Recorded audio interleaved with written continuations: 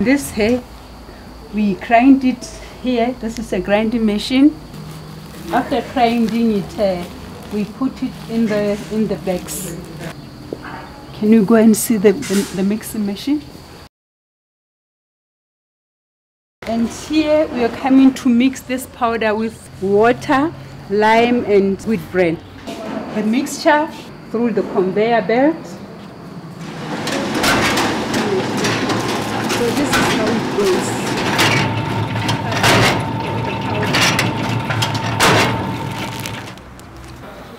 These drums are filled up with water and then after that we put the fire.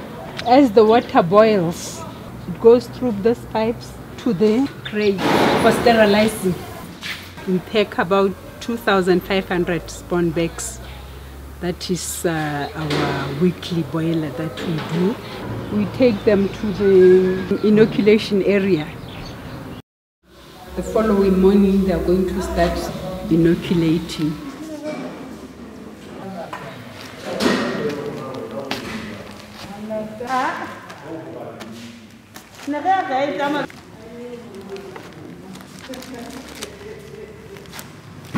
Then after inoculation, the spawn bags are, are taken to the mycelium culture room. Uh, the capacity of this mycelium culture room is 40,000 to 45,000 spawn bags. It takes two weeks for the mycelium to colonize the whole, the whole spawn bag. Then the farmers come to procure them at 5 malu per bag. A square meter is covered by 80 bags.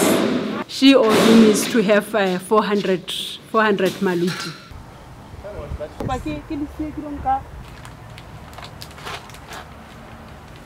Wow, look at that. Demonstration purposes.